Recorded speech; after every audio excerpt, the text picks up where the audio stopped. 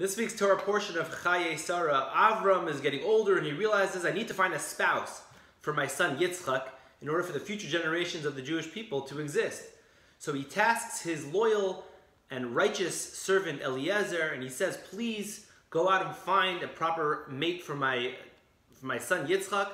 Do not get a woman from the land of Canaan, but go out where I'm originally from and find the proper spouse. So Eliezer says to him, okay, no problem, but one small problem. What happens if she decides she doesn't want to follow me to an unknown person, to, to Isaac?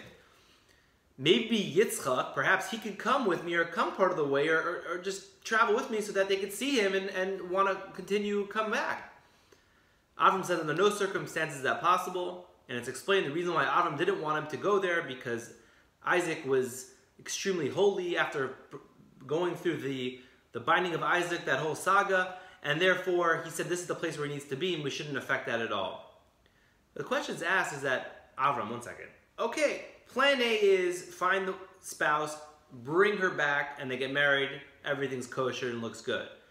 But what hap- what's the plan B over here? What's, what would happen if she decides she doesn't want to come? Are we willing now to risk the future progenitors of the Jewish people, Yitzchak, and this is going to be Rebecca, just because you don't want Yitzchak to come meet her halfway or to bring her back? It doesn't seem like you're being you're not compromising enough in order to accomplish the ultimate goal of the uh, continuing on the future of the Jewish people. The lesson we learn is very powerful. Is that once Avram decided that the proper thing was that he should not go, almost that's against the Torah. This is not what God wants. We are un, at that point. Avram was unwavering in what would be the means in order to accomplish that goal. And the lesson we learn is that ends do not justify the means.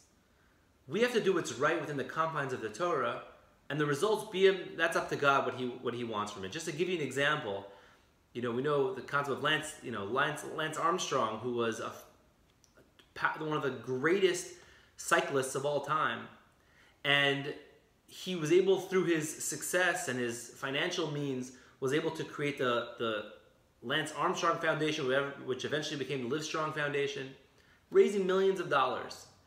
But what happened? It was found out later on that he was doping, that he was he was cheating. But you may say, you know what? Okay, fine, you cheated. But look at the great good that came from it. Look at all the people that have been saved by it. And it's true, a lot of people have been saved by it.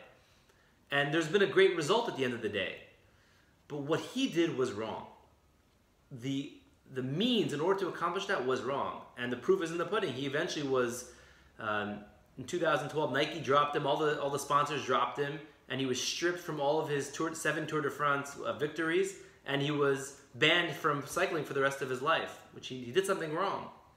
Similarly, that's what it is. Even though you can look at, wow, I could save so much, I could do so much if I just compromise and do the wrong thing, but it's for good.